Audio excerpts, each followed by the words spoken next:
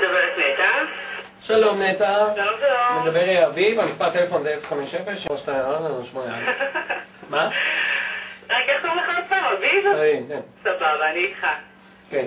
יא, אתה יודע כמה זמן את שמעתי את זה מבחורה? אה, אוקיי. אני סומכת עליך, אני לא דואגת. לא, יאללה, אני איך אני עוזרת. תראי, אני חשבתי על זה הרבה. את שומעת? ואנחנו ביחד אה, חמש שנים כבר. נו, אני מדבר ברצינות, ואנחנו ביחד חמש שנים, והאמת, האמת, האמת, אני באמת מרגיש שזה לא זה. למה אתה מרגיש שזה לא זה?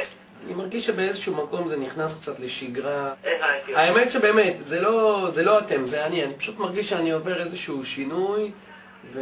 ואני לא יודע אם אנחנו באיזה שינוי אתה עובר שאתה רוצה לעבור לחברה אחרת? זה כבר משהו אישי, זה ביני לבין הפסיכולוג שלי. הבנתי אותך. אם אתה רוצה שאני אעביר אותך לפסיכולוג של טלפון, הוא לא יוכל לעזור לך. אה, לא, את רואה, ישר את מעבירה אותי כבר למישהו אחר, כאילו האשמה לא עליי. לא, חס וחלילה, זה ממש לא זה. כן, אבל- מיני... חשוב לי. אז בוא נעשה עסקה, מה. זאת אומרת? מה? אז אה, אם אתה מיני סלב, בוא נתארגן אותי פה לאיזה מסיבה של מיני סלבים. מסיבה טוב. ככה טובה, אתה יודע, נמצא איזה חתן סלב. חתן סלב? כן. אני יכול לסדר לך את אה, עופר ניסים. נו. המון תודה, ואת יודעת איך כמו שאומרים אצלנו? עד שיגמרו לך המילים. אז נגמר. עד שיגמרו לך מילים. זה טוב. כרגע המצאתי. כן? מה, זה יכול להיות סלוגן.